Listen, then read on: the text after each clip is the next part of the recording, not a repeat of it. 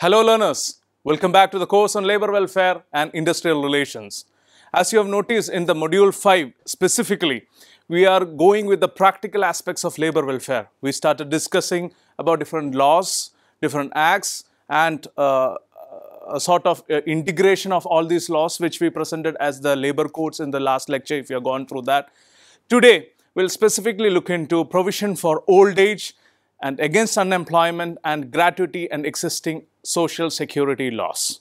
I'm Dr. Abraham Cyril Issac. I'm an assistant professor at the School of Business, Indian Institute of Technology, Guwahati. So let's start with today's topic. When we look into the provision for old age specifically and against unemployment, there are certain aspects or certain enactments or laws that already are in place. So we'll discuss that in detail. Then we'll try to assimilate everything together as part of the conclusion. So social security provisions for old age, it starts with National Policy for Older Persons, NPOP. We have the Integrated Program for Older Person, IPOP, National Initiative on Care for Elderly, which we fascinatingly call it as NICE. National Program for the Healthcare for the Elderly, NPHCE, Maintenance and Welfare of Parents and Senior Citizens Act. We also have the Pradhan Mantri Shram Yogi Man Dhan Yojana, PMSYAM, and we also have the NSAP, National Social Assistance Program. So we'll uh, go in detail it, with respect to every single laws and every single act as uh, listed here. We'll start with the NPOP, National Policy for Older Persons, NPOP 1999. When we look into NPOP 1999 specifically, it is the first major initiative taken by the government of India for the welfare of the elderly and this essentially comes under the Ministry of Social Justice and Empowerment MOSJE. The key objectives of the same being to encourage individuals to make provision for their and the spouse's old age. So when you look into the old age specifically, it is a time period where you need some social support. Maybe the family support is not there, then your life becomes a hell. So this is something that the authorities or the employers and the government all came together to understand and as part of it, National Policy for Older Pensions NPOP, Older Persons NPOP 1999 has come up. The second objective is to encourage families to take care of older family members, to provide care and protection and healthcare facilities to the vulnerable elderly. So you look into the key aspects of the functional world, it is old age or elderly, and to promote research and training facilities not only just funds but also research and training facilities for geriatric care. Geriatric care is with respect to old age. You look into the geriatric psychology or be whatever associated with geriatric healthcare, it is with respect to the old age. And finally, to actually help the elderly to lead productive and independent life. And this has to be, in fact, the first and the foremost particular agenda that has to come up as part of NPOP. If you look into the entire scheme of things, there is also one objective it is, which you, you should understand when you read between the lines to support voluntary and non-government organizations to supplement the care provided by family. So it, it should act as a support mechanism. It should act as a support system. So a word about Ministry of Social Justice and Empowerment if you are not aware of about that. MOSJE, Ministry of Social Justice and Empowerment coordinates implementation of the various aspects of this NPOP specifically with respect to this context I am stating, which are in the jurisdiction of different ministries. So the National Council for Older Persons NCOP, established in 1999, is the highest advisory body for the formulation of uh, formulation and implementation of programs for the elderly. So a review committee was appointed in 2010 under the chairmanship of Dr. Mohini Giri.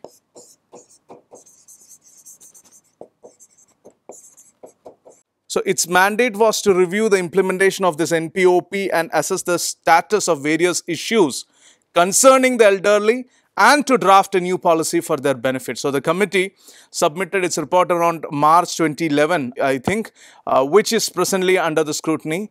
And the approach of the draft policy 2011 to social security for the elderly is discussed in the last section mainly with respect to the critical issues and challenges ahead. So when you're looking into the entire scheme of things, uh, the whole national policy for older persons was for elderly population, for the geriatric care, for the vulnerable elderly people who are otherwise not taken care of by the society. And you're looking into the second important aspect, the integrated program for older programs, IPOP. This program has been operational since 1992 and the key objectives are one to improve the quality of life of the senior citizen. Again, the objective is pretty much similar to the previous NPOP. To provide basic amenities like food, shelter, medical care and entertainment opportunities. So this is something which is more specific when it comes to uh, the uh, uh, IPOP, NPOP, more than NPOP, IPOP is more specific with respect to specific aspects like food, shelter, medical care, entertainment opportunities, etc. And if you look into the IPOP, the program has been operational since 1992 and under IPOP 90% of the project cost is provided to NGOs for building and maintaining old age homes, daycare centers and mobile Medicare units. So basically it is run by or it is streamlined by NGOs for building and maintaining old age homes or such other facilities. What happened with respect to IPOP when we look into the present status of IPOP? You know, we had critical revision of IPOP in 2008 after which several innovative projects for elderly have been added.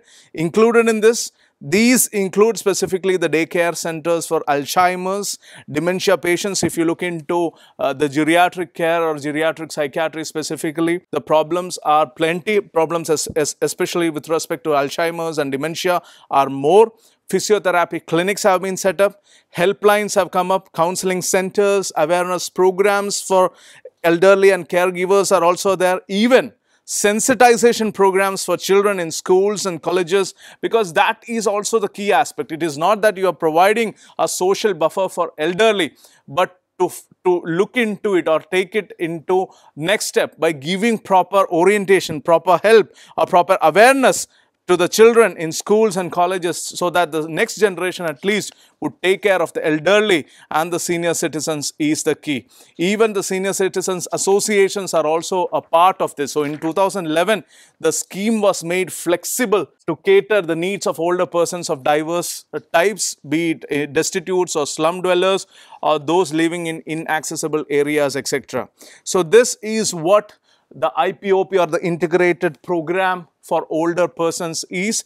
So one part of IPOP is not only to look into the older person but as we have seen it includes a lot of other aspects like it includes people or destitutes or slum dwellers etc so it has increased its ambit it has increased its its options of helping people but then that said there is one interesting part which IPOP has and that is particularly which I want to point out here is that it not only gives help and aid for the older people or the elderly population, but it also gives awareness. It does some sensitization to the newer generation. So when you do the sensitization in colleges and schools, it has a multiplier effect it, it brings in a lot of information and awareness among the youth, among the young population, and this will reciprocate. This will actually have a multiplier effect, and people will try to take care of their elderly. So, not only the social buffer, a family buffer also, or a family support also will try to complement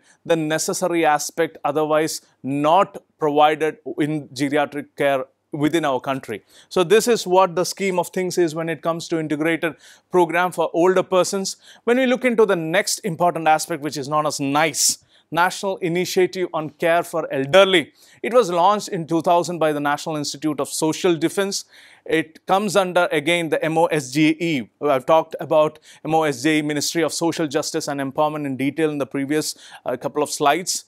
It conducts, specific, specifically the National Initiative on Care for Elderly conducts various courses to prepare skilled and committed professionals to provide services to the elderly.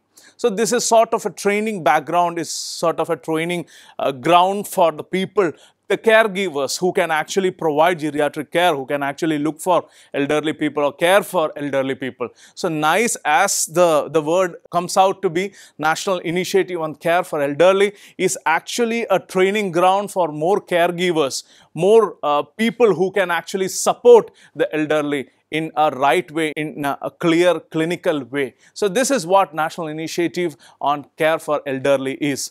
Another important aspect is a national program for the healthcare for the elderly, NPHCE. When you look into NPHCE in detail, by it was launched by the Ministry of Health and Family Welfare and it was launched during the 11th plan period. Please recollect that we do not have the, the planning commission per se and we do not follow the exact plan approach. We have the Niti Aayog and things have changed in India. It provides preventive, curative and rehabilitative services to the elderly at various levels of health delivery system. So that is the first and the foremost important objective of the national program for healthcare for the elderly, NH, NPHCE. And we also look into the objective, we understand that it strengthens the referral system. And finally, it develops specialized manpower and promote research on geriatric diseases. So it gives a holistic attempt to actually care for the elderly population. And if you want to know greater detail about the finances of the national program for the healthcare for the elderly NPHCE, then you have to understand that it is financed the ratio of 80 is to 20 by the center and the state. So provisions made for the geriatric infrastructure, geriatric wards, even OPDs in hospitals, mobile units and regular geriatric clinics are all part and parcel of the national program for the healthcare for the elderly. If you look into specific aspects like the act, it also envisages a lot of establishment and management of old age homes for the needy and elderly as we have already thrown light into. It has certain provisions of geriatric beds and wards in, in specific government hospitals, partially or fully funded by the government. Facilities are there like separate queues for senior citizens or even there are action plan for protection of the life and property of senior citizens and even it also prescribes penal provision for the abandonment of senior citizen uh, subject to almost I think 3 months imprisonment or a fine up to rupees 5000. So this is critical. The penal provision is something which is vital when you look into uh, the entire national program for the healthcare for the elderly NPHC. It is a welcome uh, aspect where you know the people who abandon the senior citizens or abandon their their parents or their elders they may get 3 months imprisonment or may have to pay up a fine of up to rupees 5000 so that is a welcome change when you look into increasing the family uh, commitment towards uh, the elderly care you look into the other aspects, we see Maintenance and Welfare of Parents and Senior Citizens Act in tandem with what we were discussing. Maintenance and Welfare of the Parents and Senior Citizens Act, though the act was passed in 2007, it was by 2010 that the act was notified by the 22 states and in almost all union territories. So it enables senior citizens, if they so desire to claim maintenance allowance of up to rupees 10,000 per month from the children and specifies the claim procedures. Okay, when we look into the other scheme of things, we have the Pradhan Mantri Shram Yogi Man Dhan Yojana, PMSYM. It is again a critical innovation when we look into the acts for old age protection.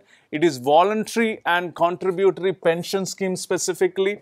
A monthly contribution ranges from somewhat rupees 55 to uh, 200 depending upon the entry age of the beneficiary. So it is it is almost like an insurance plan uh, or, or, a contributory pension scheme. 50% monthly contribution is payable by the beneficiary and equal matching contribution is paid by the central government. Now this is the key.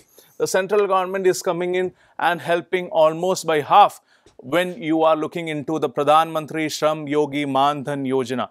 The eligibility is very clear. You should be an Indian citizen, unorganized workers working as street vendors, agriculture related work, construction site workers, workers in industries, leather, handloom, midday meal, rickshaw or auto wheelers, rag picking, carpenters, fishermen, etc. So basically we are trying to cover the unorganized workers in the eligibility pa part of the Pradhan Mantri Shram Yogi Man Dhan Yojana. The age group is obviously 18 to 40 years as given per the statute and there is a monthly income restriction which should be below rupees 15,000 and the most important part, he or she should not be a member of EPFO, ESIC, NPS or other government funded uh, pension or contributory pension schemes. So Pradhan Mantri Shram Yogi Mandhan Yojana, ladies and gentlemen, for you. This is specifically a voluntary and contributory pension scheme where the government pitches in equally to the amount that otherwise the unorganized workers are able to pay. When you look into the Pradhan Mantri Shram Yogi Man Dhan Yojana, it has certain key benefits we cannot discount. After attaining the age of 60 years, the beneficiaries are entitled to receive monthly assured pension of rupees 3000. Please note that. On death of the beneficiary, spouse is eligible for a 50% monthly pension and if husband and wife both joins the scheme, they are eligible for rupees 6,000 monthly pension jointly. So these are the typical benefits of the Pradhan Mantri Shram Yogi Mandhan Yojana. Please note, it is specifically designed for the people in the unorganized sector or unorganized workers who are otherwise not coming under the ambit of any social security schemes uh, within the country. So this is a welcome change, the Pradhan Mantri Shram Yogi Mandhan Yojana. When you look into the National Social Assistance Program, NSAP, this is yet another scheme for the old age protection with the eligibility very clear should be an Indian, any person who has little or no regular means of subsistence from his or her source of income or through financial support from family members or other sources. This happens to be the eligibility. Again, if we look holistically, the National Social Assistance Program, NSAP has certain critical benefits, including a central contribution at rupees 300 to rupees 500 for different age groups. Monthly pension ranges from almost rupees 1000 to rupees 3000 depending upon the state's contribution. So these are the typical benefits with respect to the National Social Assistance Program. When you look into the social security provisions against unemployment, it is a totally different ball game. So what we were discussing till now, if you have observed, it was more of elderly population, more of geriatric care, more of geriatric psychiatry and geriatric need of people that were addressed with respect to the social security schemes that were talked about right from the first one to the last one when you're looking now into social security schemes specifically for unemployed people or unemployment, we have different schemes starting from the MGNREGA, Prime Minister's Employment Creation Program PMEGP, we have the PM SVANidhi, we have the Garib Kalyan Rozgar Yojana, we have the DDU GKY, which is Deen Dayal Upadhyay Gramin Kaushalya Yojana, and finally Deen Dayal Upadhyay Antyodaya Yojana, uh, the scheme and Pradhan Mantri Kaushal Vikas Yojana, one of the most important uh, skill development missions that have come up, Pradhan Mantri Kaushal Vikas Yojana. So, we'll look into that in detail right now. We'll look into the first MGNREGA. It has been one of the lifeline for the government till now, MGNREGA.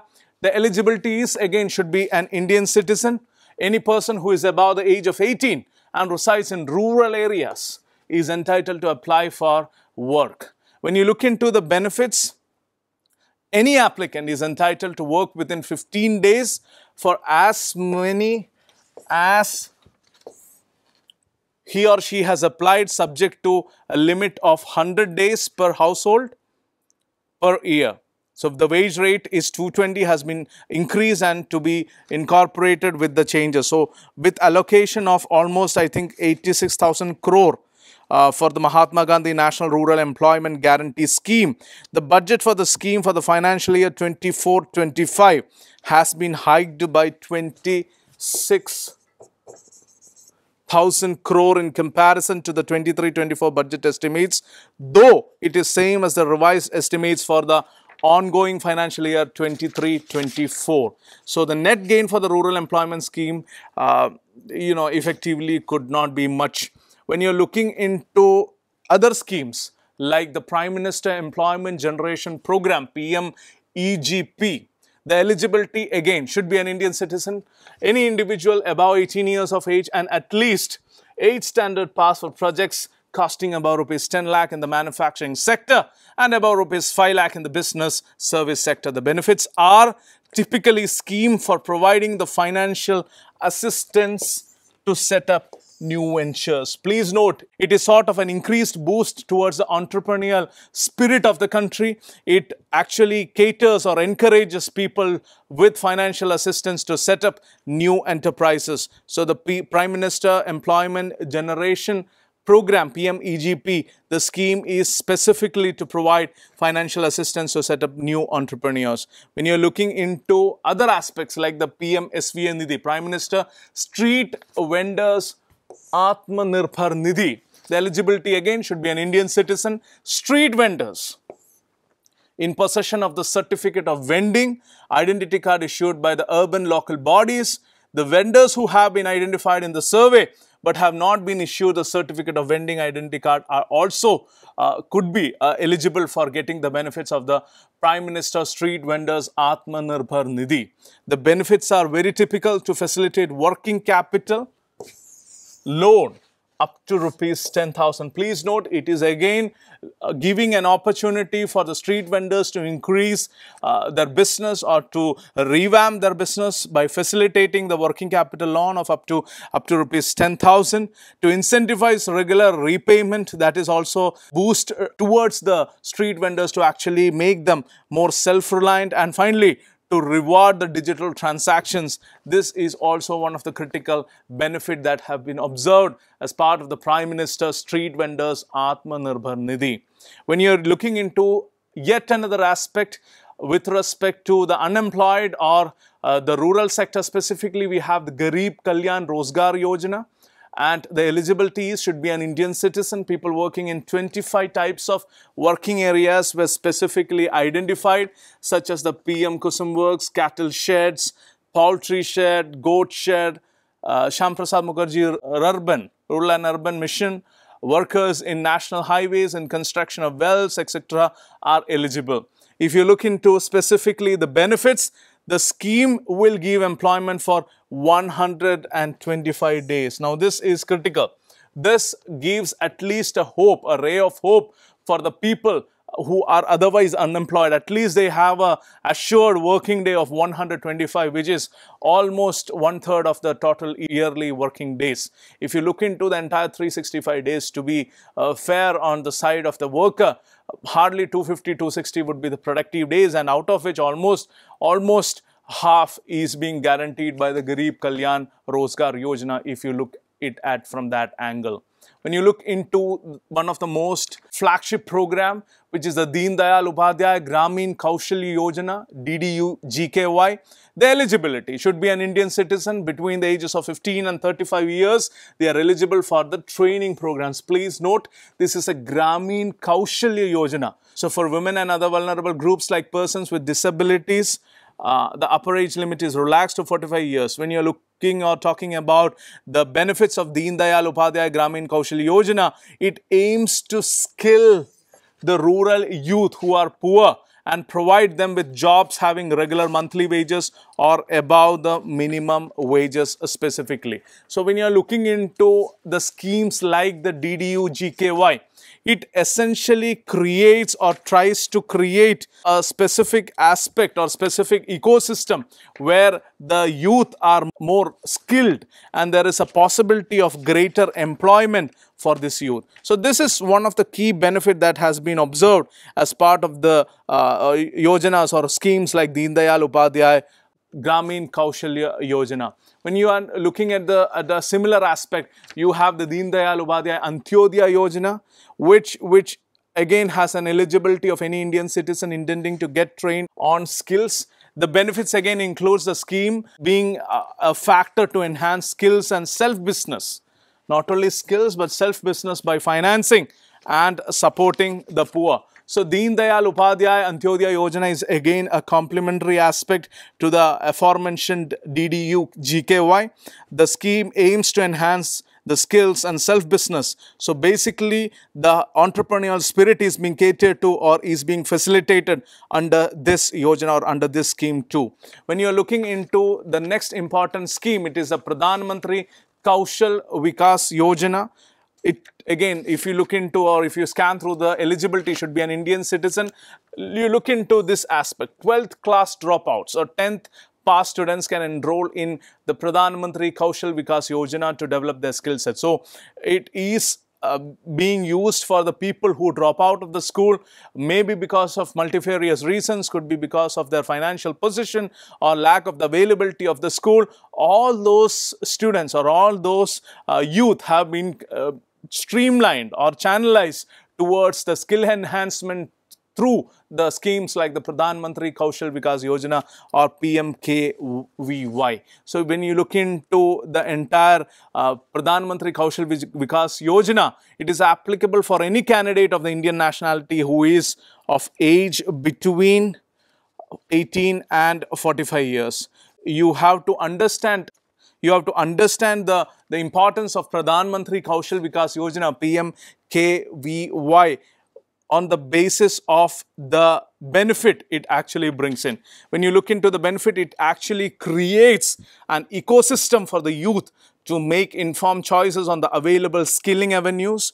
It provides typically the support to youth for skill, training and certification and it promotes sustainable skill centers for greater participation of typical uh, private sector and even if you look into the 2021 financial year it, it benefited almost 8 lakh youth over the scheme uh, period. So when you are looking into these uh, critical uh, aspects especially things like the Pradhan Mantri Kaushal Vikas Yojana are very critical when it comes to the schemes or uh, yojanas for unemployed. So this is what the whole uh, lecture was. I wanted to give you a brief introduction into all the different schemes. We have typically considered two aspects. One is for the elderly, for the old age people. Generally, we do not have, as, as a country, it is a matter of great concern that we do not have a social support for our elderly. So these are typical schemes which have been coming forward to help the targeted population or the geriatric, you know, to boost the geriatric care. That said, there is also lack or uh, there is also uh, lacunae in actually providing for the unemployed youth or unemployed people. So typically all those schemes or yojanas which I considered to the end of the lecture are part of that. So ideally if you look into welfare, welfare will happen only when the concerns of the individuals are mitigated and if let's say there is a uh, concern that what will I do after my retirement age or after my uh, age where I can actually put forward my full commitment or effort, then there are certain schemes which give me, which gives me a typical confidence to, to bring out the best in me. Then there is also a possibility that what happens that if, if let's say the youth is not uh, uh, educated or there is not skilled, then there is a typical loss. What we talk about the demographic dividend, the, the, the entire scheme of things that revolves around a lot of young population contributing to the Indian economy. But if that population is not skilled, if that population is not productive enough, then hardly those demographic dividend is of any use. So please know demographic dividend comes into picture only when they are educated, only when they are skilled, only when they, are, they know a trade. So this schemes, whatever we have discussed in this class, essentially tries to mitigate or address those concerns which were there with respect to their ability or their skill set. That's all from today's class. We'll come up with more details in the next class. Till then, take care. Bye-bye.